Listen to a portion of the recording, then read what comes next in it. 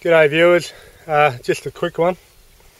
Just pulled out the drain plug from the diff and uh, that's it there. You see all that shit on the end of it?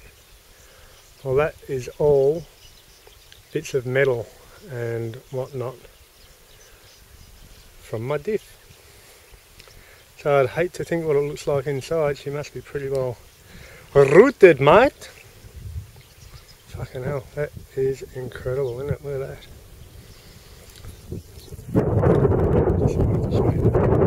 Um, just had another, just had another tour bus of old people pull up, and they all got out and they're chatting away to me, and they just love it. They love the fact that I'm out here all on my own doing this shit.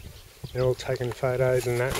So pretty well known now, pretty famous. Anyway. Adios, baby.